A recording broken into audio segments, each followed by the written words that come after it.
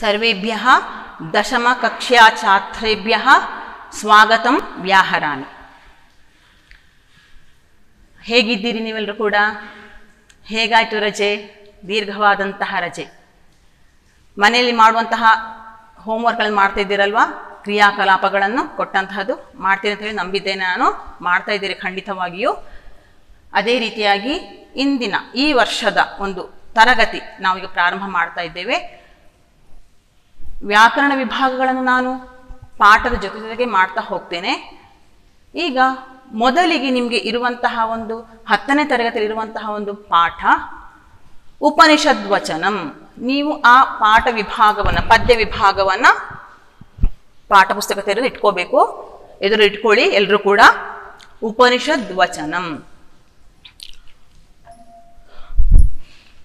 ಬರಿತಾ ಇದ್ದೇನೆ ಬೋರ್ಡಲ್ಲಿ ಉಪನಿಷದ್ವಚನಂ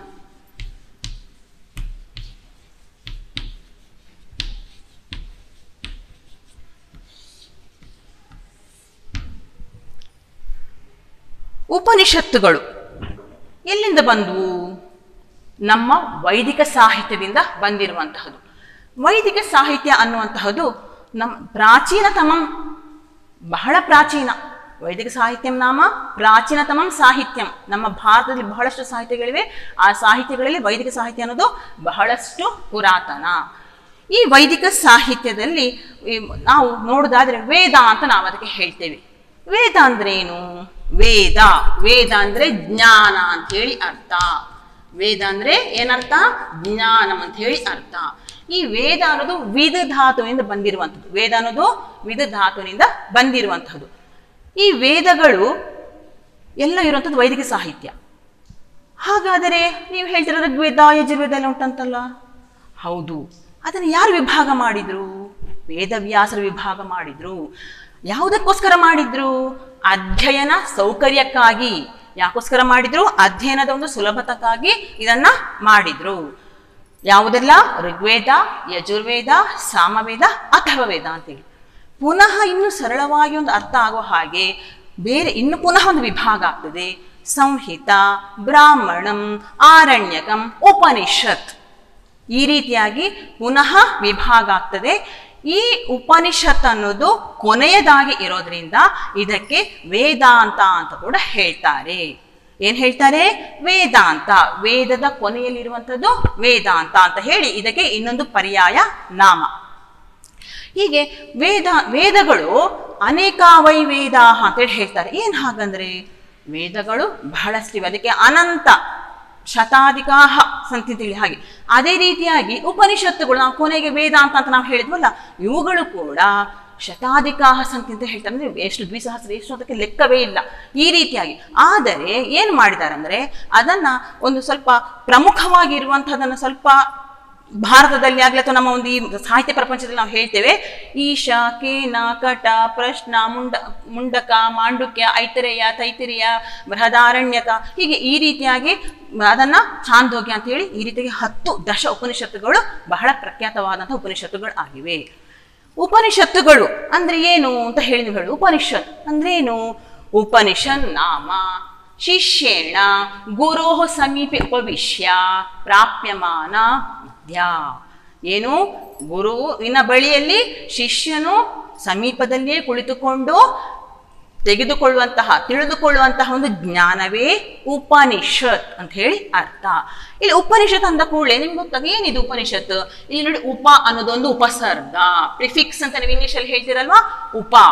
ತದನಂತರ ನಿ ಅನ್ನೋದು ಇನ್ನೊಂದು ಉಪಸರ್ಗ. ಸರ್ಗ ಉಪ, ನಿ ಅನ್ನೋ ಉಪಸರ್ಗ ಸೇರಿ ಇಲ್ಲಿ ಶದುಲ್ರ್ ಇದು ಶದುಲ್ರ ಧಾತುವಿನಿಂದ ವ್ಯುತ್ಪನ್ನವಾದಂಥದ್ದು. ಶದುಲ್ರ್ ಸತ್ ಅಂತ ಹೇಳಿ ನಾವು ಅದನ್ನು ಕೂಡ ಹೇಳ್ತೇವೆ. ಸತ್ ಅಂತ ಕೂಡ ಅದನ್ನು ಹೇಳ್ತೇವೆ. ಹೀಗೆ ಈ ರೀತಿಯಾಗಿ ಉಪನಿಷತ್ತು ಬಂದಿರುವಂತಹದ್ದು ಏನರ್ಥ? ಗುರೋಹೋ ಸಮೀಪೆ ಶಿಷ್ಯೇಣ ಉಪವಿಷ್ಯ ಪ್ರಾಪ್ಯಮಾನ ವಿದ್ಯಾ ಅಂತ ಹೇಳಿ ಇದಕ್ಕೆ ಹೇಳ್ತಾರೆ. ಹೀಗಾಗಿ ಉಪನಿಷತ್ತುಗಳು ನಾನಾಗಲೇ ಹೇಳಿದೆ. ಪ್ರಮುಖವಾಗಿರುವಂತಹದ್ದು ಹತ್ತು. ಅವುಗಳಲ್ಲಿ ನಿಮಗೆ ಒಂದು ಕೆಲವೊಂದು ನಾಲ್ಕು ಶ್ಲೋಕದ ಒಂದು ಇದನ್ನ ಇಲ್ಲಿ ಕೊಟ್ಟಿದ್ದಾರೆ.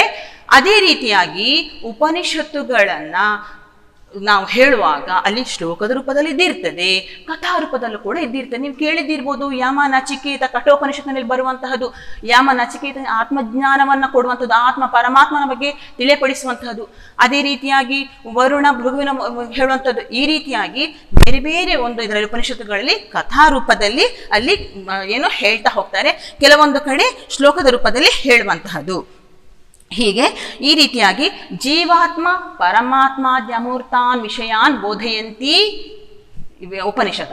ಈ ಜೀವ ಮತ್ತು ಆತ್ಮನ ಬಗ್ಗೆ ಅಮೂರ್ತವಾದಂಥ ವಿಚಾರಗಳನ್ನು ಜೀವ ಮತ್ತು ಆತ್ಮ, ಜೀವ ಅಂದ್ರೇನು, ಆತ್ಮ ಅಂದ್ರೇನು, ಬ್ರಹ್ಮ ಅಂದ್ರೇನು, ಈ ರೀತಿ ಅನೇಕ ವಿಷಯಗಳನ್ನು ಬೋಧಿಸುವಂತಹದೇ ಜ್ಞಾನವನ್ನು ನೀಡುವಂತಹದೇ ಏನಾಗಿವೆ? ಉಪನಿಷತ್ತುಗಳು ಆಗಿವೆ.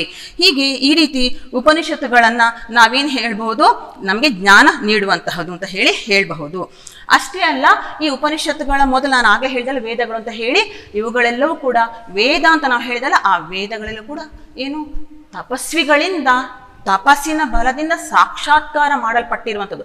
ಹಾಗಾಗಿ ಇವುಗಳನ್ನು ಅಪೌರುಷೇಯ ಅಂತ ಕೂಡ ಇದಕ್ಕೆ ಹೇಳ್ತಾರೆ. ಅಪೌರುಷೇಯ. ಈ ಅಪೌರುಷೇಯಗಳನ್ನು ಕೊನೆಗೆ ವೇದವ್ಯಾಸ ಅದನ್ನು ವಿಭಾಗ ಮಾಡಿದ. ಹಾಗಾಗಿ ವೇದವ್ಯಾಸ ಅಂತ ಬಂತು. ಆನಂತರ ಅದರಲ್ಲಿ ಪುನಃ ನಾಲ್ಕು, ಒಂದು ವಿಭಾಗಗಳಂತ ನಾನು ಆಗಲೇ ಹೇಳಿದೆ. ಸಂಹಿತ, ಬ್ರಾಹ್ಮಣಂ, ಆರಣ್ಯಕಂ ಉಪನಿಷತ್ ಅಂತ ಹೇಳಿ ಈ ಉಪನಿಷತ್ತು ಕೊನೆಯಲ್ಲಿ ಇರೋದ್ರಿಂದ ಇದಕ್ಕೆ ಏನಂತ ಹೇಳ್ತಾರೆ? ವೇದ ಅಂತ ಕೂಡ ಅಂತ ಕೂಡ ಹೇಳ್ತಾರೆ. ಹೀಗೆ ಕೊನೆಯಲ್ಲಿರೋದ್ರಿಂದ ವೇದಗಳ ಅಂತ ಹೇಳಿ. ಹೀಗೆ ಈ ರೀತಿಯಾಗಿ ಜ್ಞಾನವನ್ನು ಕೊಡುವಂತಹದ್ದೇ ವೇದಾಂತ. ಅಥವಾ ಉಪನಿಷತ್ ಅಂತ ಹೇಳಿ. ಶಿಷ್ಯೇಣ ಗುರು ಸಮೀಪವಿಷ್ಯ ಪ್ರಾಪ್ಯಮಾನ ರಹಸ್ಯತಮ ವಿದ್ಯಾ ಇತಿ ಉಪನಿಷತ್ ಅಂತ ಹೇಳಿ ಅರ್ಥ. ಅಂದ್ರೆ ಶಿಷ್ಯನಿಂದ ಗುರುವಿನ ಸಮೀಪದಲ್ಲಿ ಕುಳಿತುಕೊಂಡು ಪಡೆದುಕೊಳ್ಳುವಂತಹ ರಹಸ್ಯತಮವಾದಂತಹ ವಿದ್ಯೆ ಅಂತೇಳಿ ಯಾವುದದು? ಜೀವ ಮತ್ತು ಆತ್ಮನ ಬಗ್ಗೆ ತಿಳಿಯುವಂತಹದ್ದು. ಹೀಗೆ ಈ ರೀತಿಯಾಗಿ ನಾನು ಆಗಲೇ ಹೇಳಿದೆ, ಕಥಾರೂಪದಲ್ಲೂ ಇದೆ ಸ್ತೋತ್ರ ಮೂಲಕ ಕೂಡ ಇದೆ. ಈ ವರ್ಷ ನಿಮಗೆ ಕೊಟ್ಟಿರುವಂತಹ ಒಂದು ಪಾಠ ವಿಭಾಗದಲ್ಲಿ ಏನನ್ನ ಕೊಟ್ಟಿದ್ದಾರೆ? ಮೂರು ಶ್ಲೋಕಗಳನ್ನ, ನಾಲ್ಕು ಶ್ಲೋಕಗಳನ್ನ ಕೊಟ್ಟಿದ್ದಾರೆ. ಈಶ ಉಪನಿಷತ್ತಿನಿಂದ, ಶ್ವೇತಾಶ್ವತ ಉಪನಿಷತ್ತಿನಿಂದ ಮತ್ತು ಮುಂಡಕ ಉಪನಿಷತ್ತಿನಿಂದ ನಿಮಗೆ ಕೆಲವೊಂದು ಶ್ಲೋಕಗಳನ್ನು ಕೊಟ್ಟಿದ್ದಾರೆ ಮಕ್ಕಳೇ.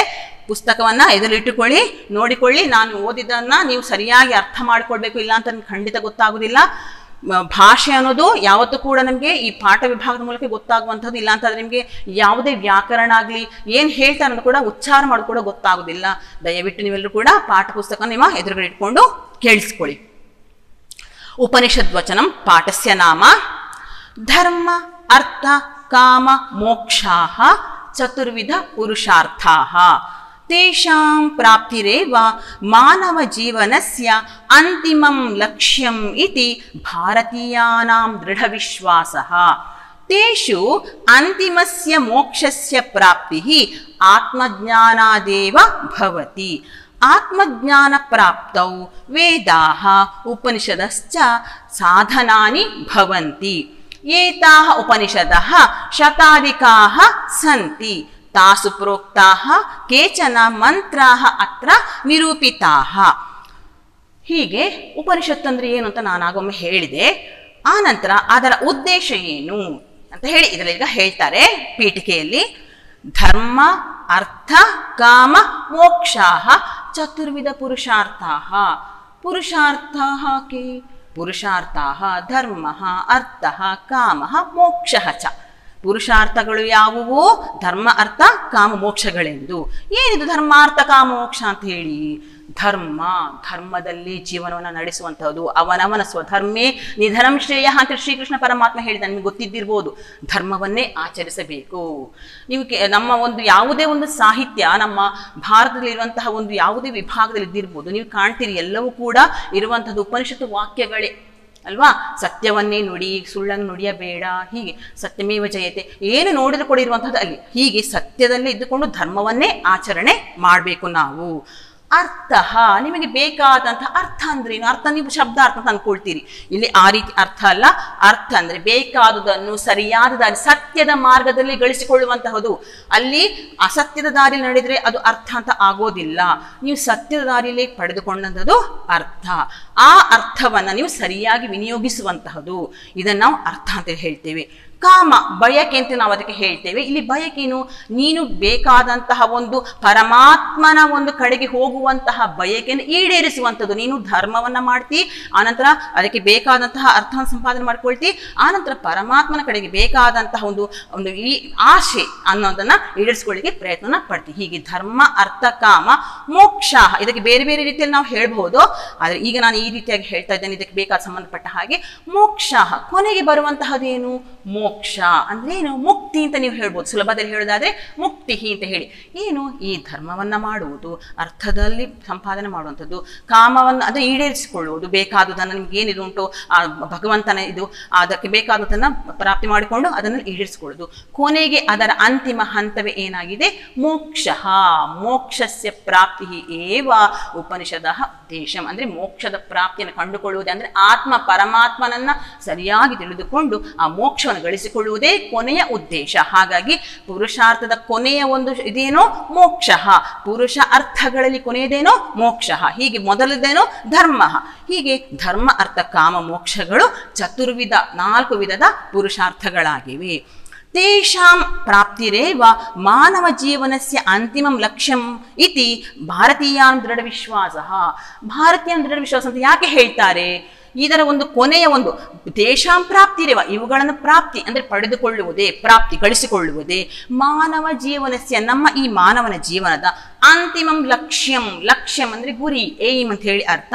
ಇದು ನಮ್ಮ ಭಾರತೀಯರ ಉದ್ದೇಶವಾಗಿದೆ. ಭಾರತೀಯರೆಲ್ಲರೂ ಕೂಡ ಇಂತಹ ಮೋಕ್ಷ ಪ್ರಾಪ್ತಿಗೋಸ್ಕರ ಏನು ಮಾಡಿದ್ದಾರೆ? ತ್ಯಾಗ ಮಾಡಿದ್ದಾರೆ. ಅವರು ಏನು ತಪಸ್ಸನ್ನು ಮಾಡಿಕೊಂಡು ಮೋಕ್ಷ ಪ್ರಾಪ್ತಿಗೋಸ್ಕರ ಬಹಳಷ್ಟು ಸಾಧನೆಯನ್ನು ಮಾಡಿ ಮೋಕ್ಷವನ್ನು ಕಂಡುಕೊಂಡಿದ್ದಾರೆ. ಹಾಗಾಗಿ ಆ ಉದ್ದೇಶ ಅನ್ನೋದು ಭಾರತೀಯರೇ ಆಗಿದೆ ನಾವು ಅದನ್ನು ದೃಢ ವಿಶ್ವಾಸ ಅಂತ ಹೇಳಿ ಹೇಳ್ತಾ ಇದ್ದಾರೆ ಇಲ್ಲಿ. ತೇಷು ಅಂತಿಮಸ್ಯ ಮೋಕ್ಷಸ್ಯ ಪ್ರಾಪ್ತಿ ಆತ್ಮಜ್ಞಾನಾದೇವ ಭವತಿ. ಹೀಗೆ ಇದರಲ್ಲಿರುವಂತಹ ಕೊನೆಯದಾದಂತಹ ಮೋಕ್ಷ ಅನ್ನೋದುಂಟಲ್ವಾ ಈ ಅಂತಿಮ ಮೋಕ್ಷಸ್ಯ ಪ್ರಾಪ್ತಿ ಅಂತಿಮವಾದಂಥ ಮೋಕ್ಷದ ಪ್ರಾಪ್ತಿಯು ಹೇಗೆ ಲಭಿಸುತ್ತದೆ? ಆತ್ಮಜ್ಞಾನಾದೇವ ಭವತಿ. ನಮ್ಮನ್ನು ನಾವು ತಿಳಿದುಕೊಳ್ಳುವುದು, ನಮ್ಮ ಆತ್ಮನವನ್ನು ತಿಳಿದುಕೊಳ್ಳುವುದು. ಆತ್ಮ ಅಂದ್ರೆ ಏನು ಅಂತ ನೀವು ಮೊದಲ ಅಂದ್ಕೊಳ್ಬಹುದು ಆತ್ಮ ಕಣ್ಣಿ ಕಾಣಿಸ್ತಾನ ಇಲ್ಲ. ಕಾಣಿ, ಕಣ್ಣಿಗೆ ಕಾಣಿಸಲ್ಲ. ನಮಗೆ ಕೊನೆಗೆ ಮುಕ್ತಿ ಅನ್ನೋದೇನು ಆತ್ಮನು ಹೋಗಿ ಪರಮಾತ್ಮನಲ್ಲಿ ಸೇರ್ಪಡೆಗೊಳ್ಳುವಂತಹದ್ದು. ಅಲ್ಲಿ ನಮ್ಮ ಜೀವ ನಮಗೆ ಕಣ್ಣಿಗೆ ಕಾಣ್ತದೆ. ಕಣ್ಣು, ಕೈ, ಕಾಲು ಕಾಲು, ಕಿವಿ ಅಂತ ಹೇಳಿ. ಆದರೆ ಆತ್ಮ ಅನ್ನುವಂಥದ್ದು ನಮ್ಮ ಕಣ್ಣಿಗೆ ಕಾಣಿಸೋದಿಲ್ಲ.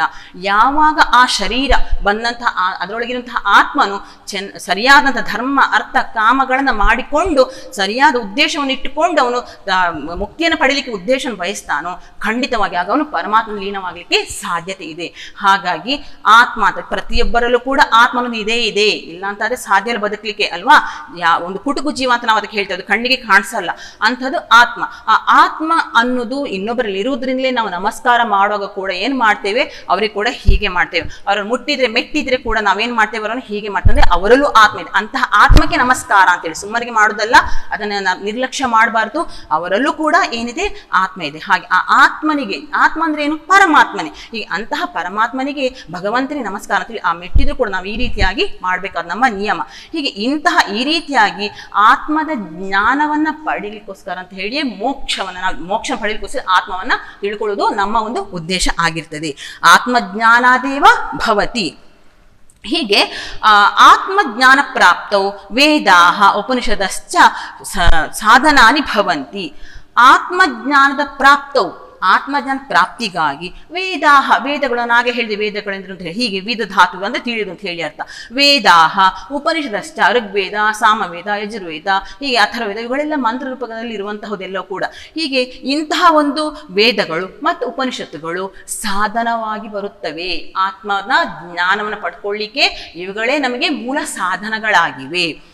ಏತಾಹ ಉಪನಿಷದ ಶತಾಧಿಕಾಹ ಭವಂತಿ. ಇಂತಹ ಉಪನಿಷತ್ತುಗಳು ಎಷ್ಟಿವೆ? ನೂರಾರಿವೆ. ನಾನು ಆಗಲೇ ಹೇಳಿದ ಉಪನಿಷತ್ತುಗಳು ನೂರಾರಿವೆ. ಅದು ಅವುಗಳಲ್ಲಿ ಪ್ರಧಾನವಾಗಿ ಆಗಲೇ ನಾನು ದಶ ನಾನು ಆಗಲೇ ಹೇಳಿದೆ. ಈಶ್ವರಿಂದ ಪ್ರಾರಂಭವಾಗಿ ಬೃಹದಾರಣಿಕವರೆಗೆ ಬೃಹದಾರ ಹೀಗೆ ಇಂತಹ ಉಪನಿಷತ್ತುಗಳು ಪ್ರಧಾನವಾಗಿ ಶತಾಧಿ, ಶತಾಧಿಕ ಇದ್ರೂ ಕೂಡ ಅಲ್ಲಿ ಪ್ರಧಾನವಾಗಿರುವಂಥದ್ದು ಹತ್ತು. ತಾಸು ಪ್ರೋಕ್ತಾಹ ಕೇಚನ ಮಂತ್ರಾಹ ಅತ್ರ ನಿರೂಪಿತಾಹ. ಅವುಗಳಲ್ಲಿ ಹೇಳಲ್ಪಟ್ಟಂತಹ ಕೆಲವೊಂದು ಪ್ರೋಕ್ತಾಹ, ಉಕ್ತಿ ಮಾಡಲ್ಪಟ್ಟ ಹೇಳಲ್ಪಟ್ಟಂತಹ ಕೆಲವೊಂದು ಮಂತ್ರಗಳನ್ನು ಇಲ್ಲಿ ನಿಮಗೆ ತೋರಿಸಿದ್ದಾರೆ, ಹೇಳಿ ಕೊಟ್ಟಿದ್ದಾರೆ, ನಿರೂಪಿಸಿದ್ದಾರೆ. ಮೊದಲಿಗೆ ಈಶಾವಾಸ ಉಪನಿಷತ್ತಿನಿಂದ ಬಂದಂತಹ ಶ್ಲೋಕ ನೋಡಿ ಒಮ್ಮೆ. ಸರಿಯಾಗಿ ಕೇಳಿಸ್ಕೊಳ್ಳಿ ಮಕ್ಕಳೇ. ಆ ನಂತರ ನಾನು ಹೇಳಿದ ಹಾಗೆ ಅದನ್ನು ಉಚ್ಚಾರ ಮಾಡಲಿಕ್ಕೆ ಪ್ರಯತ್ನ ಪಡಿ. ಇಲ್ಲಿ ಇರುವಂಥ ಉಪನಿಷತ್ತುಗಳ ಒಂದು ಸ್ತೋತ್ರಗಳನ್ನ, ಶ್ಲೋಕಗಳನ್ನ ನೀವು ಕಲಿತಷ್ಟು ನಿಮಗೆ ಒಳ್ಳೆಯದು. ಯಾಕಂದರೆ ಒಂದನೇದಾಗಿ ನಾನು ಯಾವಾಗಲೂ ಹೇಳ್ತಾ ಇದ್ದಿರ್ತೇನೆ, ನಿಮ್ಮ ಒಂದು ನಾಲಿಗೆ ಚುರುಕಾಗ್ತದೆ. ಎರಡನೇದಾಗಿ ನಮ್ಮ ಜ್ಞಾನ ಕೂಡ ಒಂದು ಶಾರ್ಪ್ ಆಗ್ತದೆ. ನಮ್ಮ ಬುದ್ಧಿಶಕ್ತಿ ಅಥವಾ ಏನು ಇದು ಅಂತ ನಾವು ಹೇಳ್ತೇವೆ ನೆನಪಿನ ಶಕ್ತಿ, ಅದು ಕೂಡ ಬಹಳಷ್ಟು ಚುರುಕಾಗ್ತದೆ. ಯಾವುದೇ ಒಂದು ಸಬ್ಜೆಕ್ಟ್ ನಿಮಗೆ ನೆನಪಿಟ್ಕೊಳ್ಳಿಕ್ಕೆ ತುಂಬಾ ಸುಲಭ ಆಗ್ತದೆ. ನಾಲಿಗೆ ಉಚ್ಚಾರದಿಂದಾಗಿ ನಮ್ಮಲ್ಲಿ ವೈಬ್ರೇಟ್ನಿಂದಾಗಿ ಆಗುವಂಥ ಒಂದು ಚಲನ ಸಂಚಲನದಿಂದಾಗಿ ತಂದ ತಾನೇ ನಮ್ಮ ಒಂದು ನರ್ವುಗಳಿದಾಗಿ ಬಹಳಷ್ಟು ಚೆನ್ನಾಗಿ ನೆನಪಿಟ್ಕೊಳ್ಳಿಕ್ಕೆ ಸಾಧ್ಯತೆ ಇರುವಂತಹದ್ದು. ಹಾಗಾಗಿ ಯಾವುದೇ ಶ್ಲೋಕಗಳಾಗಲಿ ನಿಮಗೆ ಸಿಕ್ಕಿದಂಥದ್ದು ಅದನ್ನು ನೀವು ಆದಷ್ಟು ಬಾಯ್ಪಾಠ ಮಾಡಲಿಕ್ಕೆ ನೋಡ್ಕೋಬೇಕು. ಇದು ನಿಮಗೆ ಬಾಯ್ಪಾಠಕ್ಕೆ ಅಂತ ಹೇಳಿ ನಿಮಗೆ ಎಕ್ಸಾಮ್ ದೃಷ್ಟಿಯಲ್ಲಿ ನಾನು ಹೇಳ್ತಾ ಇಲ್ಲ. ನಿಮ್ಮ ಒಂದು ಜ್ಞಾನದ ದೃಷ್ಟಿಯಿಂದ ಇಂಥ ಉಪನಿಷತ್ತುಗಳ ಶ್ಲೋಕಗಳನ್ನು ಕಲೀಲಿಕ್ಕೆ ಪ್ರಯತ್ನ ಪಡಬೇಕು ಅಂತ ನಾನು ಹೇಳ್ತಾ ಇದ್ದೇನೆ. ಹಾಗಾಗಿ ನೀವು ಆಲ್ರೆಡಿ ನಿಮ್ಗೆ ಗೊತ್ತಿರುವಂಥದ್ದು ಅಸತೋಮ ಅಸದ್ಗಮಯ ಇದೆಲ್ಲ ಇರುವಂಥದ್ದು ಅಲ್ಲೆಲ್ಲ ಅಲ್ವಾ? ಹಾಗೆ ಇಲ್ಲಿರುವಂಥ ಶ್ಲೋಕಗಳು ಪಾಠದಲ್ಲಿರುವಂಥ ಶ್ಲೋಕಗಳನ್ನು ಕೂಡ ನೀವು ಅದನ್ನು ಹೇಳಬೇಕಾದ್ದು ನಿಮ್ಮ ಒಂದು ನಿಯಮ. ಕೇಳಿಸ್ಕೊಳ್ಳಿ, ನಾನು ಹೇಳ್ತಾ ಇರೋದನ್ನು. ಈಶಾವಾಸ್ಯಮಿದಂ ಸರ್ವಂ, ಯತ್ಕಿಂಚ ಜಗತ್ಯಾಂ ಜಗತ್, ತೇನ ತ್ಯಕ್ತೇನ ಭುಂಜೀತಾಹ ಮಾಗೃದಃ ಕಸ್ಯ ಸ್ವಿಧನಂ ಸರಿಯಾಗಿ ಕೇಳಿಸ್ಕೊಳ್ಳಿ, ಒಂದೊಂದೇ ಶಬ್ದ ಹೇಳ್ತೇನೆ ಒಮ್ಮೀಗ. ಈಶಾವಾಸ್ಯಮಿದಂ ಸರ್ವಂ ಯತ್ಕಿಂಚ ಜಗತ್ಯಾಂ ಜಗತ್. ತೇನ ತ್ಯಕ್ತೇನ ಭುಂಜಿಥಾಹ ಮಾ ಗೃಧಃ ಕಸ್ಯ ಸ್ವಿಧನಂ ಇದು ಈಶಾವಾಸ್ಯೋಪನಿಷತ್ತಿನಿಂದ ಬಂದಂತಹ ಒಂದು ಸ್ತೋತ್ರವಾಗಿದೆ. ಪುನಃ ಹೇಳ್ತೇನೆ, ಈಶಾವಾಸ್ಯಮಿದಂ ಸರ್ವಂ ಯತ್ಕಿಂಚ ಜಗತ್ಯಾಂ ಜಗತ್ ತೇನ ತ್ಯಕ್ತೇನ ಭುಂಜೀತಾಹ ಮಾಗೃದಃ ಕಸ್ಯ ಸ್ವಿಧನಂ ಏನರ್ಥ ಒಮ್ಮೆ ಕೇಳಿಸ್ಕೊಳ್ಳಿ ಇಲ್ಲಿಗ ಜಗತ್ಯಾಂ, ಪೃಥಿವ್ಯಾಂ, ಜಗತ್ ಈ ಪೃಥಿವಿಯಲ್ಲಿ ಯತ್ಕಿಂಚ ಜಗತ್, ಚರಾಚರಂ ಜಗತ್, ಈ ಚರ ಮತ್ತು ಅಚರ, ಚರ ಚಲಿಸುವಂಥದ್ದು ಆಚಾರ ಚಲಿಸದಿರುವಂಥದ್ದು. ಹೀಗೆ ಚರ, ಅಚರ, ಮರ, ಗಿಡ, ಬಳ್ಳಿ, ಮನುಷ್ಯ, ಪ್ರಾಣಿ ಏನಿದ್ರು ಚರಾಚರದಲ್ಲಿ ಬರೋದು, ಬೆಟ್ಟ, ಗುಡ್ಡ ಇದೆಲ್ಲ. ಹೀಗೆ ಚರಾಚರಂ ಜಗತ್. ತೇನ ಅಂದ್ರೆ ಯಾರಿಂದ? ಸ್ವೇನ ರೂಪೇಣ, ಸ್ವೇನ ರೂಪ ತನ್ನ ರೂಪದಿಂದ ಈಶಾವಾಸ್ಯಂ, ಪರಮಾತ್ಮನ ಆಚ್ಛಾದನೀಯಂ. ಯಾರಿಂದ? ಅವನಿಂದ ಎಲ್ಲವೂ ಕೂಡ ಆವರಿಸಲ್ಪಟ್ಟಿದೆ, ಎಲ್ಲವೂ ಕೂಡ ಯಾರದಾಗಿದೆ? ಪರಮಾತ್ಮನದೇ ಆಗಿದೆ, ಬೇರೆ ಯಾರ್ದಲ್ಲ. ಈ ಭೂಮಿಯಲ್ಲಿ ಇರುವಂತಹದ್ದು ನಾವಿರ್ಬೋದು, ನೀವಿರ್ಬೋದು, ಪಕ್ಷಿ ಇರ್ಬೋದು, ದನ ಇರ್ಬೋದು ಕರಿರ್ಬೋದು ಬೆಟ್ಟ ಇರ್ಬೋದು, ಗುಡ್ಡ ಇರ್ಬೋದು, ಯಾವುದು ಎಲ್ಲವೂ ಕೂಡ ಪರಮಾತ್ಮನ ಆಚ್ಛಾದನೀಯಂ. ಪರಮಾತ್ಮನಿಂದಲೇ ಈಶೇನ, ಅಂದ್ರೆ ಈಶ ಅಂದ್ರೆ ಯಾರು? ಪರಮಾತ್ಮ, ಭಗವಂತ ಅಂತ ಹೇಳಿ ಅರ್ಥ. ಅಂತಹ ಪರಮಾತ್ಮನಿಂದ ಆಚ್ಛಾದನೀಯಂ ಆವರಿಸಲ್ಪಟ್ಟಿರುವಂತಹದ್ದಾಗಿದೆ. ಬೇರೇನಲ್ಲ, ಅದು ಅವನು ಮಾಡಿದ್ದು, ಅಪ್ಪ ಮಾಡಿದ್ದು, ಅಮ್ಮ ಮಾಡಿದ್ದು ನಾವು ಅಂದ್ಕೊಂಡಿರ್ತೇವೆ. ಅಲ್ಲ, ಇದೆಲ್ಲದಕ್ಕೂ ಮೂಲ ಕಾರಣ ಯಾರು? ಪರಮಾತ್ಮ, ಭಗವಂತನೇ ಆಗಿದ್ದಾನೆ. ಚರ ಇರಲಿ, ಆಚಾರ ಇರಲಿ ಚಲಿಸುವಂಥದ್ದಿರಲಿ ಅಥವಾ ಚಲಿಸದಿರುವಂಥದ್ದಿರಲಿ ಹೀಗೆ ಎಲ್ಲವೂ ಕೂಡ ಪರಮಾತ್ಮ ತೇನ ವಾಸ್ಯಂ, ಈಶೇನ ವಾಸ್ಯಂ ವ್ಯಾಪ್ತಂ. ಸರ್ವಂ ತ್ಯಕ್ತೇನ, ಎಲ್ಲವನ್ನು ಕೂಡ ತ್ಯಕ್ತೇನ, ತ್ಯಾಗೇನ, ತ್ಯಕ್ತ ಅಂದ್ರೆ ಬಿಟ್ಟು ಬಿಡುದು ಅಂತ ಹೇಳಿ ಅರ್ಥ. ಎಲ್ಲವನ್ನು ಬಿಟ್ಟು ಬಿಟ್ಟು ತ್ಯಾಗ ಮಾಡೋದ್ರಿಂದ ಭುಂಜಿತಾಹ, ಅಂದ್ರೆ ಪಾಲಯೇತಾಹ, ಎಲ್ಲವನ್ನ ಬಿಟ್ಟು ಬಿಟ್ಟು ಅದನ್ನ ರಕ್ಷಿಸ್ಕೊಳ್ಬೇಕು. ಅಲ್ಲಿ ಅವನು ಕೊಟ್ಟದ್ದು ಅಂತ ಹೇಳಿ ಅದನ್ನ ರಕ್ಷಣೆ ಮಾಡ್ಕೊಂಡು ಅದನ್ನ ಏನ್ ಮಾಡ್ಬೇಕು? ಅಲ್ಲಿ ಭುಂಜಿತಾಹ. ಕಸ್ಯ ಸ್ವಿತ್ ಕಸ್ಯ ಸ್ವಿತ್, ಪರಸ್ಯ ಧನಂ ಮಾಗೃದಹ ಇನ್ನೊಬ್ಬರ ಸಂಪತ್ತನ ನೀನೆಂದಿಗೂ ಕೂಡ ಮಾಗೃದಹ ಗೃದಿಂ ಮಾ ಕುರು. ಅಂದ್ರೆ ನೀನು ಅದಕ್ಕೆ ಆಸೆಯನ್ನ ಪಡಬೇಡ. ಕಸ್ಯ ಸ್ವಿಧನಂ ಮಾಗೃದಹ ಅಂದ್ರೆ ಇನ್ನೊಬ್ಬರ ಸಂಪತ್ತಿನ ಬಗ್ಗೆ ನೀನು ಆಶೆಯನ್ನ ಪಡಬೇಡ. ಯಾಕೆ? ಇನ್ನೊಬ್ಬರ ಆಸೆ, ಒಬ್ಬ ಅವನ ಅಷ್ಟು ಸಂಪತ್ತುಂಟು. ನನಗಿಲ್ಲಲ್ಲ ಅಂತೇಳಿ ನೀವು ಅದನ್ನ ಕೊರಗಬಾರ್ದು. ಯಾಕಂದರೆ ಏನಿದ್ದರೂ ಕೂಡ ಪರಮಾತ್ಮನ ಒಂದು ಕೊಡುಗೆ. ಆ ಕೊಡುಗೆ ನಾವು ಸ್ವೀಕಾರ ಮಾಡಿಕೊಂಡು ನಾವು ಅದನ್ನ ವಿನಿಯೋಗಿಸುವಷ್ಟೇ ವಿನಃ ಇನ್ನೊಬ್ಬರ ಪರರ ಸಂಪತ್ತಿಗೆ ಆಸೆನ ಪಡಬಾರದು. ಏನಿದ್ರು ಕೂಡ, ಅಯ್ಯೋ, ಅವನದಲ್ವಾ? ಅದು ಕೂಡ ಪರಮಾತ್ಮನ ಇಲ್ಲ, ಅದು ಧರ್ಮದಲ್ಲಿ ನಡೆಯುವಂತಹ ಒಂದದಲ್ಲ ಅದು ಅಸತ್ಯ ಮಾರ್ಗಕ್ಕೆ ಹೋಗುವಂಥದ್ದು. ಹಾಗಾಗಿ ಏನು ಕೊಟ್ಟಿದ್ದಾನೋ ಅದನ್ನು ನಾವು ತೃಪ್ತಿಯಿಂದ ಭುಂಜಿಸ್ಬೇಕಷ್ಟೇ ವಿನಃ. ಆ ತೃಪ್ತಿಯಿಂದ ಇದ್ದಿರಬಾರ್ದು. ನಾವು ಖಂಡಿತವಾಗಿಯೂ ಏನು ಮಾಡಬೇಕು? ಆ ಪರಮಾತ್ಮನೇ ನಮಗೆ ಕೊಟ್ಟದ್ದು ಅಂತ ಅಂದ್ಕೊಂಡು ಆ ಭಗವಂತನ ಒಂದು ಕೃಪೆ ಅಂತ ಅಂದ್ಕೊಂಡು ನಾವು ಅದನ್ನು ಅನುಭವಿಸಬೇಕು. ಹೀಗೆ ಈ ರೀತಿಯಾಗಿ ಅಲ್ಲಿ ಅದನ್ನ ಯಾವ್ದ್ರಲ್ಲಿ ಹೇಳಿದ್ದಾರೆ ಈಶಾವಾಸ್ಯ ಉಪನಿಷತ್ತಿನಲ್ಲಿ ಹೇಳಿದ್ದಾರೆ. ಪುನಃ ಒಂದ್ಸಲ ಹೇಳ್ತೇನೆ. ಈಶಾವಾಸ್ಯಮಿದಂ ಸರ್ವಂ ಯತ್ಕಿಂಚ ಜಗತ್ಯಾಂ ಜಗತ್, ತೇನ ತ್ಯಕ್ತೇನ ಭುಂಜಿತಾಹ ಮಾಗೃದ ಕಸ್ಯ ಸ್ವಿಧನಂ. ಹೀಗೆ ಈಶಾ, ಈ ಜಗತ್ತನ್ನೋದು ಎಲ್ಲ ಒಂದು ಏನಿದ್ರು ಕೂಡ ಈಶನಿಂದ, ಅಂದ್ರೆ ಪರಮಾತ್ಮನಿಂದ ಆವರಿಸಲ್ಪಟ್ಟಿರುವಂತಹದ್ದು. ಹಾಗಾಗಿ ಏನೇ ಸ್ವಲ್ಪ ಇದ್ರೂ ಕೂಡ ಅದರ ಬಗ್ಗೆ ನೀವು ಆಸೆ ಪಡಬಾರ್ದು ಅಂತ ಹೇಳಿ ಈ ಶ್ಲೋಕದಲ್ಲಿ ಹೇಳಿರುವಂತಹದ್ದು ಎಲ್ಲರಿಗೂ ಧನ್ಯವಾದಗಳು. ಇದನ್ನು ಚೆನ್ನಾಗಿ ಅಭ್ಯಾಸ ಮಾಡಿ ಮುಂದಿನ ತರಗತಿಯಲ್ಲಿ ಮುಂದಿನ ಸ್ತೋತ್ರಗಳನ್ನು ನೋಡೋಣ. ನಿಮಗೆ ಕಳಿಸುವಂತಹ ಒಂದು ಏನು ಹೋಮ್ವರ್ಕ್ ಉಂಟು ಅದನ್ನು ಕೂಡ ಚೆನ್ನಾಗಿ ಮಾಡಿರಿ. ಸರ್ವೇ ಧನ್ಯವಾದ.